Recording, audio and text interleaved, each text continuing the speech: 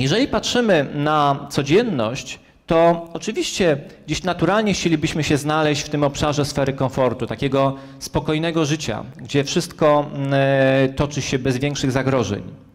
Natomiast to, co w życiu jest najpiękniejsze, pojawia się kawałek dalej. To jest e, tak, jakbyśmy powoli wypływali na morze. To jest doświadczanie życia. Jedna z najcenniejszych rzeczy, jakie można w życiu osiągnąć, czyli poznać jego smaki. Poznać smak radości, smutku, e, żalu, tęsknoty, ciekawości. One wszystkie mają swój smak i swoją wibrację, w związku z tym warto ich doświadczać. I mm, jak czasami patrzę na ludzi, mam wrażenie, że ludzie nie chcą doświadczać. Natomiast w sferze komfortu niewiele może się zdarzyć.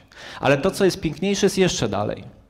Następny okrąg, do którego trzeba wejść, to są marzenia. Marzenia są tam, gdzie jest wolność.